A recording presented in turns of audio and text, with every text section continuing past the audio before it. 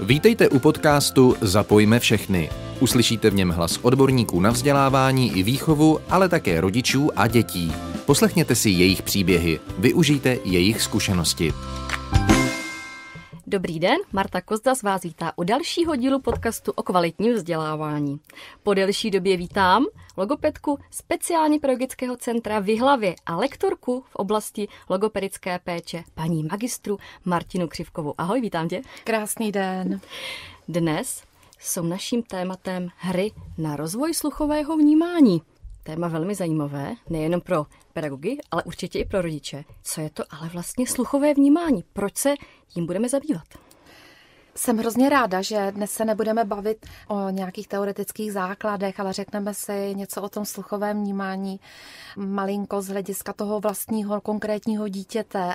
Chtěla jsem to nejenom odvyprávět, ale taky ukázat pár her, které se podle mě by měli znovu vrátit k těm dětem. A někteří rodiče už třeba tyto hry tak nějak nepamatují, tak eh, jsem přivítala i to, že nás budou třeba sledovat i rodiče, takže vytáhneme ke každé oblasti nějakou hru, aby nám ukázala důležitost a jednoduchost a hravost a zároveň eh, naplnila to, co děti vlastně nejvíc potřebují, to znamená připravit se na vstup do první třídy a aby byly právě v oblasti sluchového vnímání, což je klíčová kategorie, aby byly také připraveny. Takže to patří do připravenosti a sluchové vnímání je fajn rozvíjet a co to je, tak to možná by stálo za to si to malinko objasnit, aby jsme věděli, hmm. co tam do té kategorie patří. Tak jestli to můžu rovnou tedy nějak otevřít. Možná začnu trošku zamyšlením, jaké jsou problematické oblasti v tom, v tom ranku sluchového vnímání u dnešních dětí. A tady se bavíme o dětech, které prokazatelně slyší. To je důležité říct. Ano, provádí se v České republice vyšetření sluchu jak v té porodnici, tak v rámci pětileté prohlídky předškolní, nebo ne předškolní, ale v rámci pětileté prohlídky všichni prochází nebo děti prochází zkouškou sluchu, aby jsme měli jistotu, že opravdu slyší.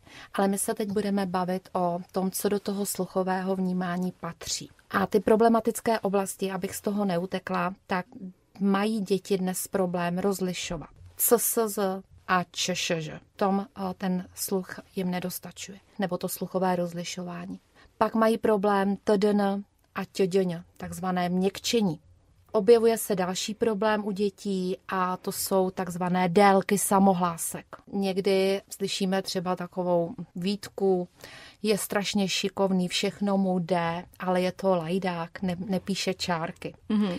A ono to není lajdáctví, ale to dítě třeba nerozlišuje, jestli je to maslo nebo máslo, jestli ta čárka tam je nebo není. Takže délka samohlásek je další problematická oblast. Uvádí se, že mají děti potíže s vnímáním a reprodukcí rytmu. Kvéty.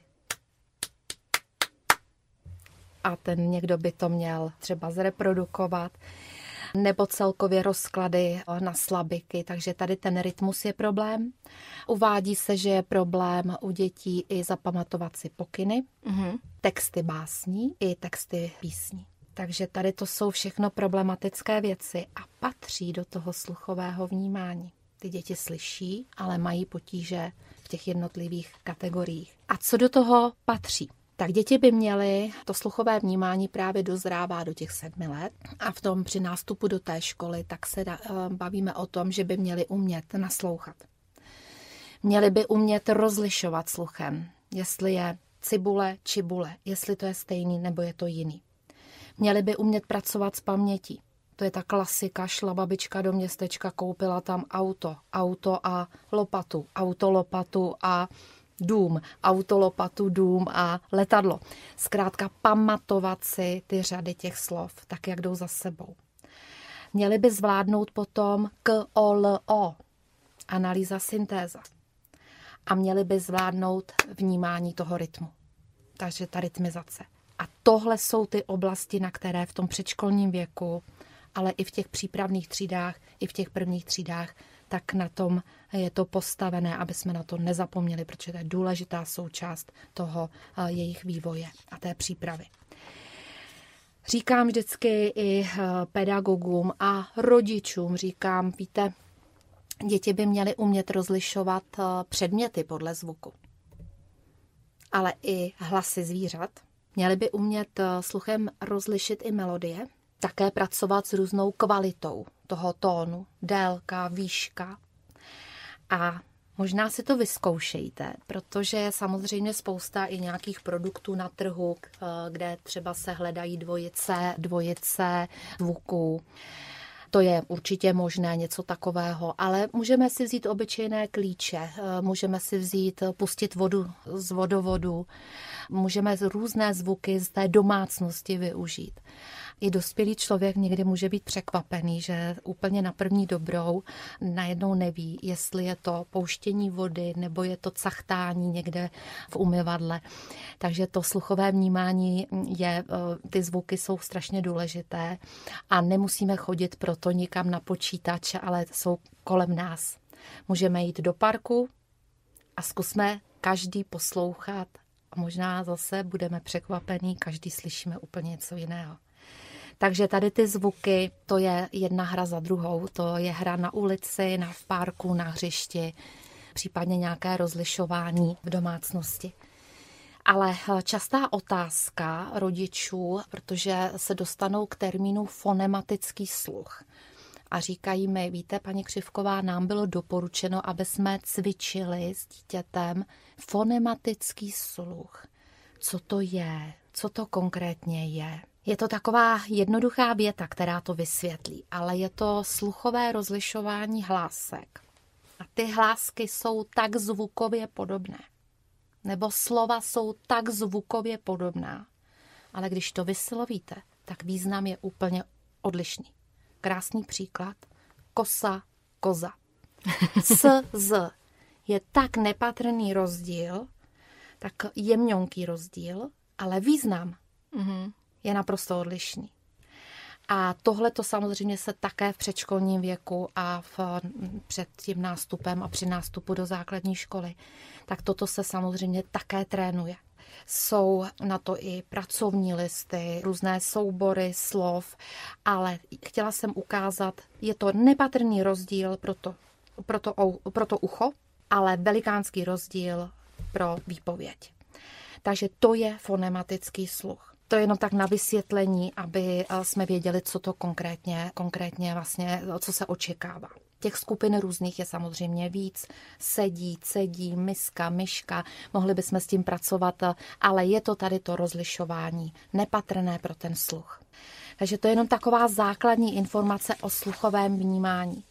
A protože ty problematické oblasti jsme si tak nějak řekli, tak já jsem zkusila eh, vybrat pro každou tu oblast nějakou hru, a přinesla jsem návrat eh, některých her, které se třeba zapomněly. A můžu už teď říct, že dětem se tyhle hry hrozně líbí. Rádi pracují s jednoduchými tématy a s jednoduchými obrázky.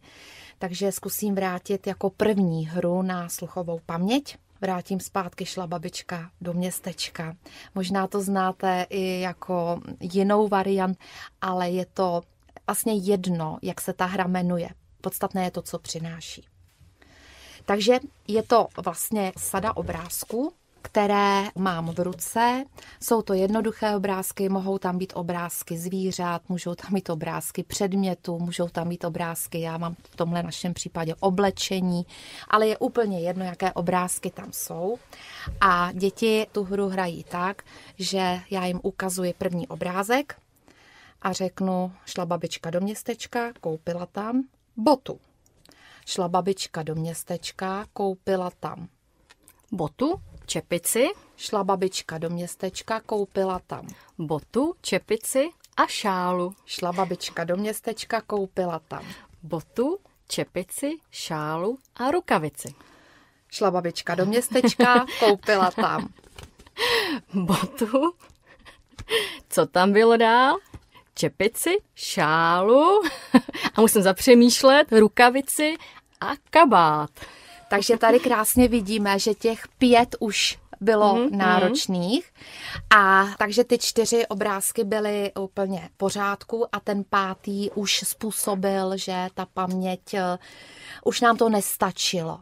Ale jinak je to samozřejmě výborný výkon. U dětí se může stát, že zvládnou na začátku třeba jenom dvě ty kartičky si zapamatovat. Ale tyto hry jsou výborné i na koncentraci pozornosti. Ono je to baví, takže se začnou, jak se to říká česky, pekelně soustředit. A teď Já můžete, jsem se pekelně soustředila. A, a můžete přidávat a přidávat a pak mm. zjistíte, že dojdete až k pěti. Mm. A možná vás zaujalo, že jsem dělala takové zuby, že jsem ty kartičky nekladla přesně na sebe. Takže popíšu, popíšu, máme tady před sebou ty kartičky ano. a nejsou přesně na sobě, ale jsou... Jako, jako schody. Mm, mm, jako mm. schody. Děti nevidí pod to, co je pod tím obrázkem, ale přes ten zoubek si malinko pomůžou. Mně se to osvědčilo, protože i, myslím si, že i dospělí, když se to takhle dá úplně mm. dorovna, tak eh, je to náročnější. Ale ty zoubky stopky, to ty schody malinko pomáhají v té paměti. Myslím, že to pomohlo i v představě eh, počtu. Mm-hmm, uh, mm-hmm. To oblečení. Tak, takže jsou to nepatrné zuby, Dítě nevidí to, co je pod tím, ale ten zoubek pomáhá v uvědomění si toho počtu a té posloupnosti. A to je tedy hra šla babička do městečka, ale může to být jakákoliv jiná motivace. Princip je pracovat s tou pamětí a děti to baví. A eh, když se to hraje ještě třeba s dospělým, tak eh, se pak může ukázat, že ten výkon toho dítěte může být i lepší po čase než toho dospělého. Že ty máš uh, oblečení, je nějaký jiný soubor, který bys doporučovala? Ať je to podle zájmu těch mhm. dětí. Mm. Může to být, já třeba mám tady ty soubory vždycky i na rozvoj slovní zásoby, tak mám oblečení, mám zvířata, mám jídlo, nápoje, nábytek, eh, může to být opravdu cokoliv. Mm-hmm. Dopravní prostředky, hračky, takže ty kartičky si volím i podle druhého záměru, nejenom práce s tou pamětí, ale i třeba chci rozvíjet slovní zásobu. Takže záleží opravdu i na tom pedagogovi, co zrovna potřebuje. Takže to je paměť a ještě je taková zajímavá hra, my si ji vyzkoušíme v takové těžší verzi. Se trošku bojím. Uh, určitě ne, ale... Protože dneska, dneska jsem trošku v roli dítěte, jestli mi to půjde. Já myslím, že to bude v pohodě. Dáme si šest obrázků. Já využiji znovu tady to oblečení, ať to nemáme komplikované. A dáme šest obrázků. Doufám, že jsou jasně eh, rozpoznatelné, co to je. Ty přidala si kalhoty. Tak, to jsou kalhoty ty poslední. Mm-hmm. Tak, je to na pozornost, na paměť. A hra spočívá v tom, že děti mají před sebou takhle šest obrázků. V našem případě to bude to oblečení. Mm-hmm. Dám to oblečení před to dítě.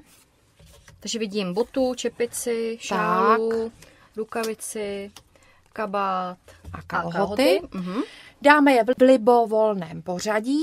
Ta hra začíná až v okamžiku, kdy ještě doplníme další podmínky. Vezmeme si šňůru a nad ty obrázky tu šňůru položíme. Může být červená, zelená, žlutá, my máme šedou a ta šňůra oddělí tomu dítěti stávající prostor od toho budoucího. Šňůra je na tohle výborná, protože děti bez té šňůry se v tom prostoru trošičku ztrácí a ta hra je pro ně hodně pak náročná. Ta šňůra může být z papíru, může být Může, ano. Mm. Využíváme buď klasickou šňůrku, anebo si uděláme z pruh barevného, pap, barevného papíru a také to funguje. Tak. A hra je jednoduchá, máme před sebou šest obrázků. Já je řeknu v nějakém pořadí a dítě, když mě vyslechne, tak to nad tu šňůru naskládá. Mm-hmm. A aby jsme to, protože jsme teď, aby jsme to podkreslili, tak to budeme rovnou říkat. Ale děti neříkají. Ale děti to říkat mm-hmm. nemusí, jenom to tam naskládají a potom na základě kontrolního mechanismu si překontrolujeme, jestli to je tak, jak to má být. Mm-hmm. Takže začínám, až dořeknu, tak nad tu šňůru se ty obrázky poskládají čepice, rukavice, kabát, kalhoty, šála, bota. Čepice, rukavice, kabát, teď už trošku začínám tápat, tak byly Mhm. kalhoty a pak z těch posledních dvou, poslední byla bota, takže teďka bude, teďka bude šála a pak bude bota. Výborně. Ale teda, bylo to náročné. Tak, teď se k tomu ještě malinko vrátím, protože ano, bylo to šest obrázků. Uvádí se asi šest. Ale i já mám zkušenost a myslím si, že i pedagogové, kteří podobné hry třeba hrají, že šest je opravdu hodně. Mhm. Na začátku třeba děti zvládnou pouze dva obrázky si zapamatovat, ale pomalu se to vlastně zlepšuje a zlepšuje, pracuje, pracují lépe s tou pamětí a dojdou někteří i k těm šesti. Takže tady jsem dala záměrně těch šest, aby jsme si jako dospěláci uvědomili, že už to náročné je. Tohle to je taky výborná hra a ta šňůrka právě mě hrozně pomáhá. Já jsem to nehrála s tou šňůrkou s dětma a byl to takový chaos. Opravdu to stávající a budoucí prostředí, začaly se jim ty obrázky hodně, eh, hodně míchat, takže ta šňůrka eh, mi to docela vyřešila. Mhm.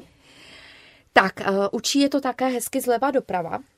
Bylo ještě hezké, jak si vlastně ukazovala jenom tak prstíkem na ty obrázky, o kterých jsem mluvila.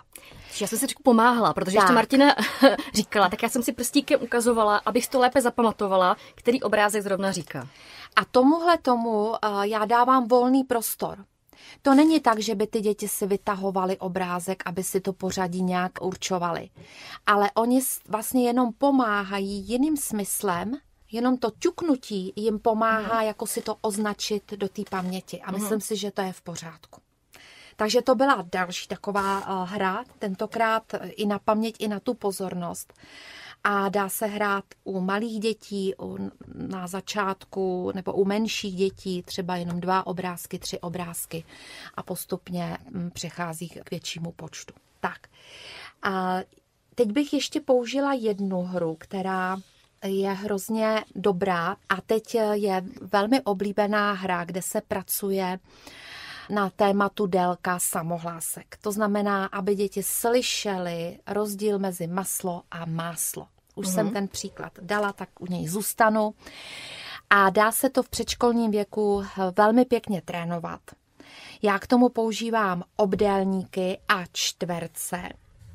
A Takže mám barevné obdélníky a barevné čtverečky z běžného barevného papíru běžné velikosti asi tak eh, 3 cm a 2 cm, nebo centimetr a 3 cm, aby bylo poznat, že to je obdélník a čtvereček. Až to máš rozlišené barevně, A že? barevně, No. dobře to mít rozlišeno barevně. Dětem se ta hra těžko vysvětluje, tak jdu rovnou příkladem. A dám jim eh, obrázky na tabulku. Tabulku, mm, je tabulka znamená, že mají děti prostě rámeček a mají tam okýnka a mají tam obrázky v těch okýnkách a jejich úkolem je vytleskat eh, slovo. Takže začneme tím nejkratším, tím nejjednodušším, to je třeba myš. A dítě má vytleskat, kolikrát tleskne, když eh, je to slovo myš. Tak jestli můžeš, Myš. myš. Kolikrát si tleskla? Jednou? Jednou. A já ukážu takové gesto, že to je krátký. Takový ťuknutí jenom, jako myš. A ukážu Pěstič- pěstičku máš. pěstičku a takový jako kraťonký tečka. Krátký, krátký pohyb jenom. Krátký pohyb mm-hmm. rukou a tím naznačím, že chci vlastně ten čtvereček. A to ukazuješ ty nebo dítě? To ukazuju já. Mm-hmm. U toho prvního seznámení s tím ukazuju tak myš, výborně. Jednou si tleskl, ukážu, aha, takhle a dám tam tu tečku. Takže k obrázku myšky dáme čtvereček Čtvereček, mm-hmm. naznačující, že to je krátký. a jeden čtvereček jenom. Pak vezmu slovo žába, mm-hmm. zase vytleská dítě, tak vytleskej. Žába. Kolikrát? Dvakrát se. Dvakrát. A teď ukážu delší dlouhý pohyb rukou, jako žába. A tu tečku zase. Takže jdeš zleva doprava pohyb, další pohyb pěstičkou a, Tečka. a takové ještě zúraznění Ano. A pěstičkou. vlastně můžu u- tomu dítěti uh, ukázat to, co jsem udělala tou rukou, těma čtverečkama a obdélníkama. A dám tam obdélník žába. A tam už jim vlastně dochází těm dětem, co se po nich vlastně chce a mm. můžu přidávat další a další slova. Takže další je motýl. Motýl. Kolikrát? Dvakrát jsem Dvakrát. tleskla. A jak?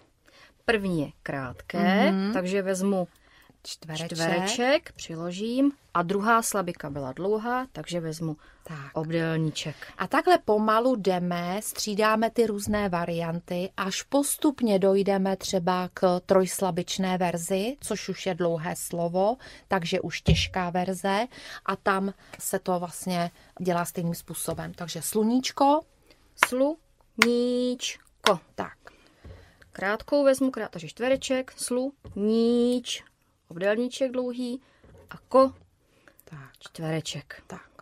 Děti to velmi baví, eh, samozřejmě někdo to zvládá rychleji, Něk, někdo potřebuje delší čas na to, aby a i to přehrávání, ukazovat tou rukou tu délku nebo tu tečku, tak to potřebuje třeba delší dobu.